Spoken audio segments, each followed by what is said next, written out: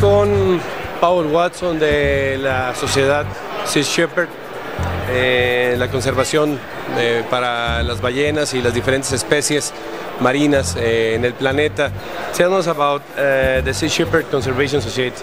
Well, I established the Sea Shepherd Conservation Society in 1977 because I felt there was a need for an organization to uh, intervene to uphold international conservation law. So we're not a protest group, we're an interventionist group, an anti-poaching group, and we've been doing this for now 35 years. Many operations that you have.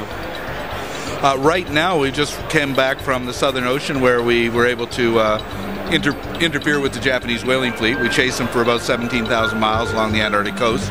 They took 26% of their quota, which meant that uh, we saved 74% of uh, the whales that they wanted to take, almost uh, 800 whales uh, this year.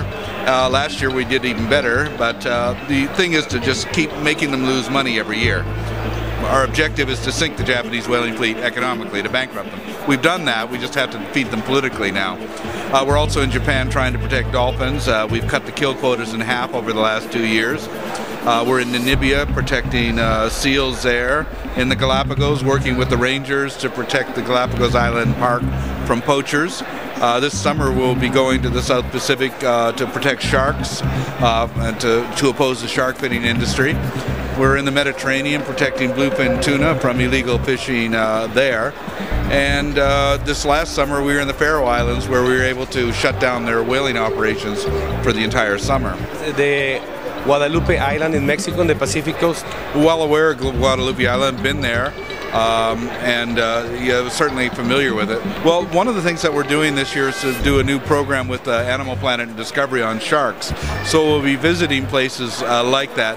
My idea is to have a team of women, we call them the Shark Angels, to swim with the sharks and to talk to people and everything and uh, present a completely different alternative viewpoint than the, you know the the way it's been presented in the past. We're not to say that sharks aren't dangerous, but what we're trying to say is that sharks we need to respect them, that they're not as dangerous as people think they are.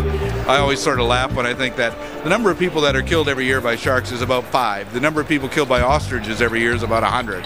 So ostriches are more dangerous than sharks. But it's just really uh, appreciating, respecting, and learning to live in harmony with these animals instead of trying to kill them. How can people help to the conservation, to the Sea Shepherd conservation?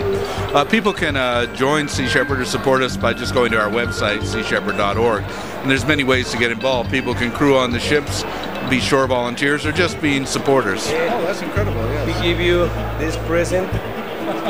the, the last, he, the last he, program. How did he do that? And look, the Sea Shepherd. That's very nice. And it's really strong, it's really heavy. Yeah fits, but it's beautiful. And this for you? Oh, thank you. Oh, hi, this is Captain Paul Watson, and uh, to everybody in Mexico, uh, we really uh, support uh, all the efforts in Mexico to protect our oceans uh, and all the people that are involved in those efforts.